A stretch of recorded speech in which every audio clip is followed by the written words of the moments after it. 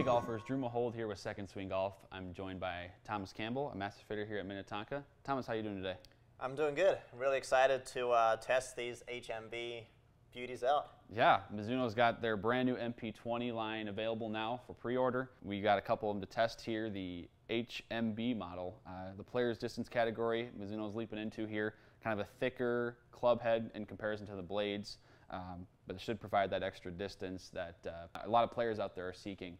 Um, so Thomas, let's see, uh, let's see how far you can hit these bad boys. Huh? All right, let's just get after it. I'm really excited to see how they perform. All right, what are you starting with here, Thomas? Start with a pitching wedge, HMB. Okay.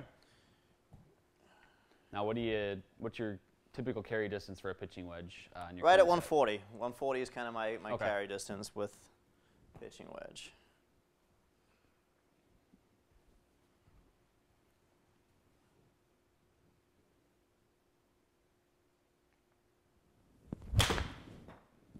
Felt good.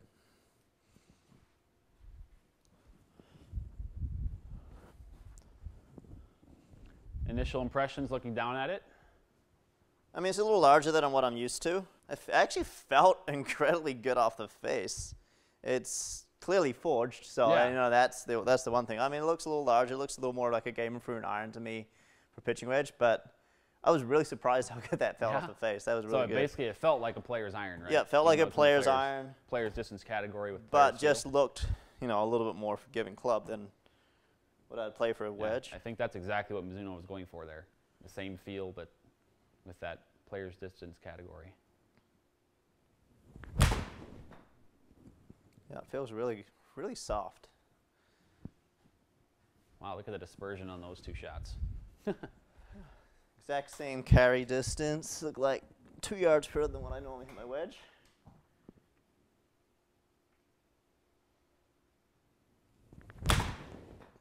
Might have left that one a little out to the right.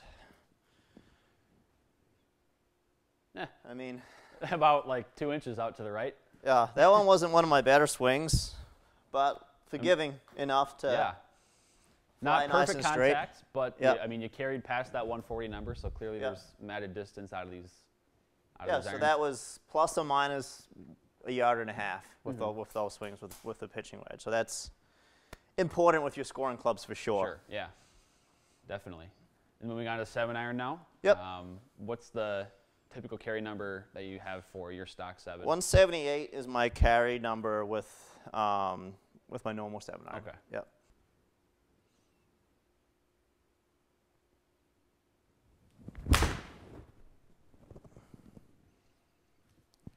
Good. Just a slight little fade. Pretty straight. Four, yeah. four yeah, it's still you, to you hit right. a fade. You know, your normal trajectory is a draw. For those Yep. who don't aren't usually watching our channel, Thomas likes to play a draw, and here's a fade, and it still kind of gave him some extra distance there. That felt solid. That felt a little straighter. Oh yeah, Yeah, I've been working on my swing a little bit here, trying to straighten it out a little bit. So, I'm not surprised that I am hitting it a little straighter, but you know, at the same time, these clubs being a little Right. more forgiving, they're still going to fly Oh, pretty yeah. straight as well. yeah. You got that high launch too out of these. That's just kind of the I think Sort flew the- 130 feet in the air. A little less spin, but you know, with it carrying and flying pretty far, it's still going to stop on the green. absolutely. No, it's about six yards of stopping power from That's kind of 189 to 95. That'd be your different your difference probably between kind of a blade and a player's distance is you're going to stop the ball with your sort of landing angle on the player's distance iron versus Yep. a blade you might have extra spin that'll stop it on the green. Correct. Ex- exactly. Yeah, that last swing felt really good. Once again, feels good off the face. It's not the typical feel I'm used to kind of feeling off a more, well, it looks more of a game improvement iron, but it's clearly forged feel.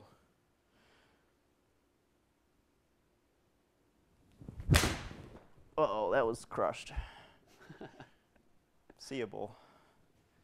Whew. Well, That was really good. so Yeah. the normal carry distance you're thinking is about 178 for the seven iron you played now, Yep. and that one carried 191. 191, yep. Not bad. Yeah.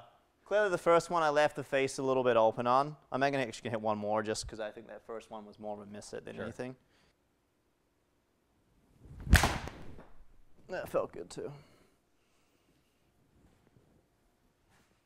Oh Yeah. yeah.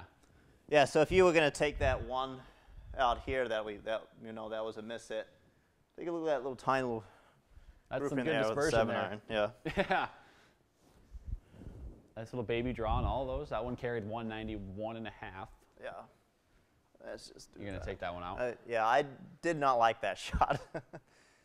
That was just me hitting a bad swing. well, it's also you being picky. Yes, but it also makes that circle look a lot better without It does make that circle look a lot better, but I will tell you that first swing, you know, it wasn't very, it wasn't very good. So So, but yeah, seven Yeah. iron impressions. Uh, I mean, clearly you gained about anywhere from, you know, 10 to 13 yards a carry on your solid strikes. So what's interesting, pitching wedge, I think this is more kind of like a pro- progressive set for sure. Yeah. You know, pitching wedge really didn't go any further than what I'm normally hitting Mhm. it. So that's that's good. That you're scoring clubs. You don't need to hit that Right. pitching wedge crazy far. You want it to go the kind of the same distance every time. But then we start losing, you know, maybe we're trying to pick up a little distance on those longer irons. That's when, you know, the progression with the set, you might see them going a little bit further, be a Mhm. little more forgiving. Well, let's hit the four iron HMB here next. All right, I'll get you over to the four iron here. Once again, just looking down at these, so shiny. I love, I love the look of new, new irons, Yeah, new, new blades, irons, new irons. Especially the You Mizuno know, the, finish to them the, with the chrome. Mizuno chrome, Yeah, satin, very, yeah, very good looking clubs. Mizuno has always delivered in, term, Yeah. in terms of looks and feel with their irons, and the, the MP20s are no exception for Yeah. sure. Makes me want to put head covers on my irons forever. These look good. All right, let's hit the four iron.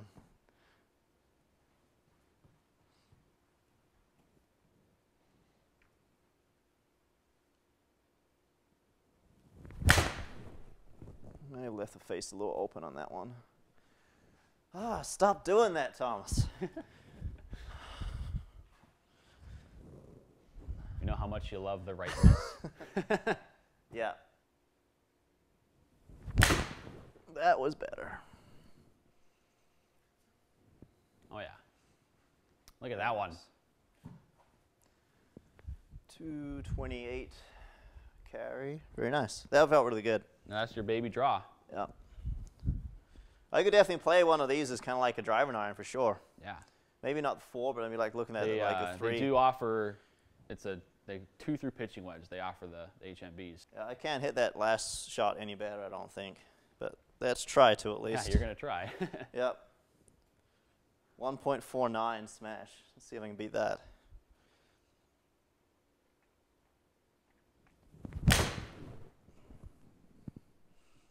Ooh, one four eight smash. Yeah. Left the face a little open on that one. That's good. Obviously, the club being a little longer, it's going to be much harder to hit straighter because it doesn't have as Right. much loft on it. Oh yeah. Um, let's hit one more here. That right shot is just bothering me today.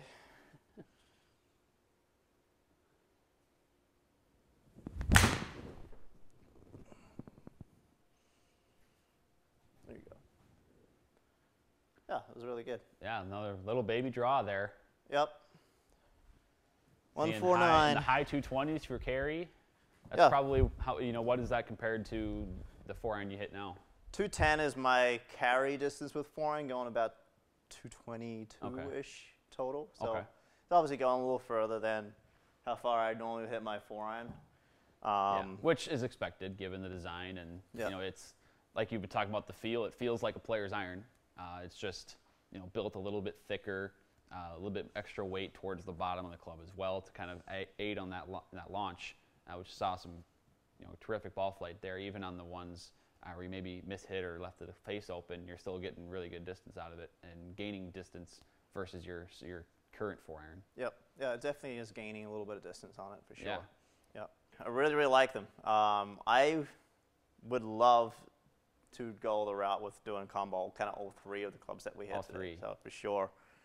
Yeah, the MP20 line is kind of built that Yeah. way, where there's they kind of provide the option for golfers to get all three models in their set, and it depends just where you start. You know, there could be golfers that go you know, three iron through five iron in the HMB, and then they have a couple of MMCs, and then you know, blade maybe in the nine pitching wedge. Uh, that, that's kind of what I think Mizuno's goal was with each of these models, is to kind of give players that option to go get fit and bring in you know all three models to their set. All right, Thomas, you got to hit a few shots with pitching wedge, seven iron and four iron, uh, the MP20 HMB. I know you, a you gained some distance, but also b I know you're really impressed with the feel. Yes, uh, love the fact that these are forged. They kind of look a little bit more kind of game improvement looking down compared to what I'm kind of used to playing, but they felt incredibly soft off the face. So it was really like a really surprising combination mm-hmm. between between the two, you know, feel and also forgiveness as well. So that was really right. You know, it was pretty incredible actually. I was yeah. really impressed with that. Yeah, you don't see a club maybe this thick, for example, get the feel that you would out of a player's iron, really. Um, and this is definitely kind of falling into that player's distance category, which is becoming more and more popular now among amateurs. What would you say is probably the sort of handicap range maybe, or um, sort of the type of player that you would fit into a full set of uh, you know MP MP20 uh, HMBs? I don't usually like to try and you know categorize it by handicap because certain players are strong with their short game or strong with their mm-hmm. long game or something like that. You know, but I would definitely recommend if someone's trying to pick up a little bit of distance, you know, definitely looking at the HMB, you know, in those longer irons. You know, shorter irons, they could probably still get away with something a little bit, you know, less forgiving for those better better players. You know, the other thing is you they, these feel incredibly good too. So for those players that you know are looking for a little bit more forgiveness, but like the feel of a forged club, these clubs, you know, yeah. excellent. And the other thing you always talked about was distance as well. You know, didn't really pick up much distance with the pitching wedge. I wasn't surprised by that. You know, it's more of a kind of like a pro progressive set. Yeah. But then seven iron, four iron, that's where you start to kind of see where I started to kind of pick up that dis distance what I'm used to. Right, and then obviously you mentioned too the, the combo set possibilities. Um, you really liked the possibility of having all three in a set where you'd start out with maybe an uh, HMB kind of in the two or three iron, has like a driving iron for example, and then kind of move down in the MP20 uh, with the blades and the MMCs kind of to mix out your set. Um, or you could do something like, you know, three iron through six iron with the HMB and then MMCs for your seven through pitching yeah, wedge. You could, you know, you can get creative with this, and that's I think that's what Mizuno was going for here. Your opportunities are kind of endless. You could kind of mm -hmm. go any kind of route with any one of these three clubs. You know, whatever you want to do, whatever what club you want to start with, uh, with your maybe more can driving, more forgiving club, and then through to your blades, you can definitely do that. You know. Right, and I think the best way to find out which combo works best for you would be to speak to a fitter at Second Swing or uh, contact one of our uh, online fitters at secondswing.com. Uh, we can get you fit into the combo set that's perfect for you between all the MP20 models from Mizuno, whether that's the HMBs here or the MP20 MMCs or the MP20 blades. I think Thomas Campbell would be obviously a great example of someone to uh, work with. So, Thomas, thanks for joining us today. And uh, I hope you guys check out secondswing.com and contact Thomas. All right, thanks, Drew.